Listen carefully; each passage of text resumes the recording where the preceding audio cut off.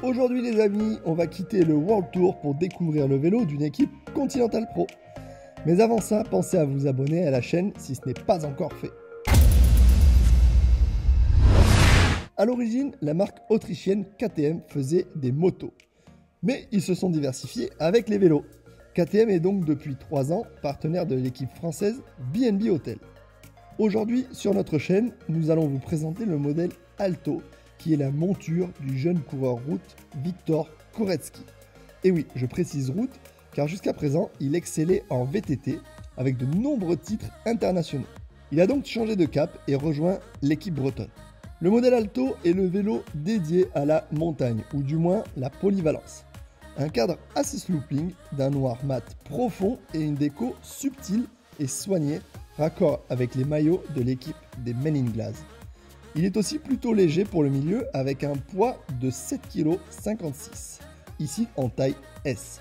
C'est un groupe Shimano du Race DI2 qui équipe ce biclou, mais pas n'importe lequel, le fameux 12 vitesses, avec des freins à disque en 140 mm devant et derrière. On se doute vu le niveau du gazier en VTT, qu'en descente sur route, ça doit envoyer et les freins doivent pas trop chauffer.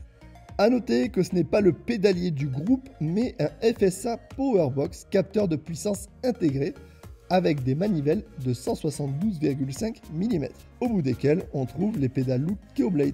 Tant qu'être dans la transmission, parlons développement. Plutôt commun pour le coureur de 27 ans avec un 53-39 pour les plateaux et 11-26 côté cassette.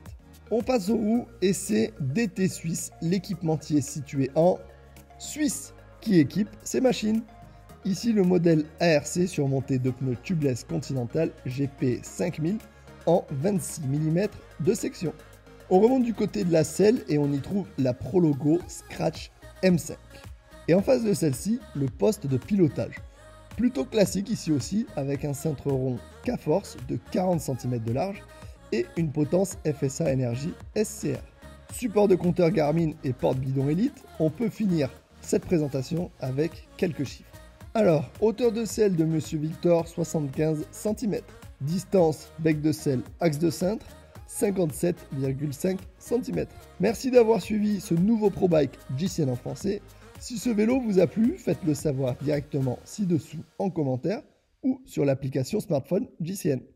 Ciao